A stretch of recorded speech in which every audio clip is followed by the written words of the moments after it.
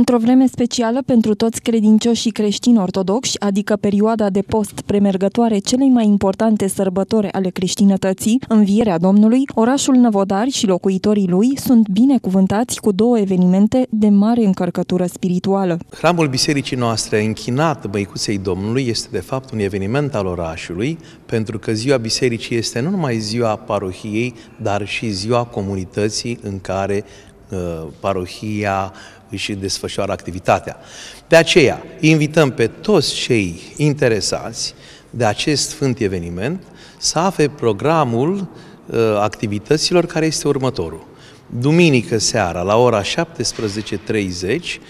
uh, vom aduce Sfintele Moaște Epictet și Astion, Sfântul Pantelimon, și împreună cu înalt preasfințitul Părinte Arhiepiscop Teodosie, vom săvârși slujba Sfintei Vecernii, după care vom face o procesiune în orașul nostru cu Sfintele Moaște pentru binecuvântarea și ajutorul orașului nostru.